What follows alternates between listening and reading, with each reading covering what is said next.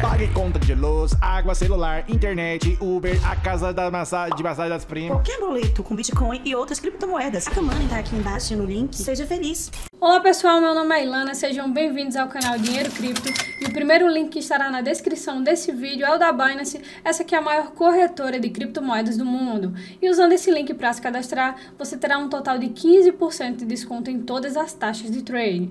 E o segundo link é referente ao robô de operações que pode ser configurado na Binance. Meus amigos, o governo do Cazaquistão irá criar um imposto específico para mineração de criptomoedas que será calculado conforme o valor minerado pela pessoa ou empresa. O ministro da Economia do país, Alibek Kontrov, explica que o plano é calcular a taxa conforme o valor de mercado da criptomoeda minerada e que a medida pode auxiliar a aumentar o orçamento do Estado. Estamos considerando o aumento na taxa para os mineradores de criptomoedas. No momento, também estamos considerando conectar o índice desse aumento ao valor valor da cripto. Se as criptomoedas subirem, será bom para o nosso orçamento, disse o ministro conforme aponta o portal. Assim mesmo, pessoal, na cara dura. O Cazaquistão é o segundo país do mundo que mais minera Bitcoin e para se ter uma ideia do uso de eletricidade pelos mineradores, o governo do Cazaquistão estimou em setembro do ano passado que o setor de mineração usou 8% do fornecimento total de energia disponível no país. A atividade vem gerando atrito com o governo. Em fevereiro, as autoridades locais fecharam 13 fazendas de mineração de Bitcoin em menos de uma semana. Depois, em março,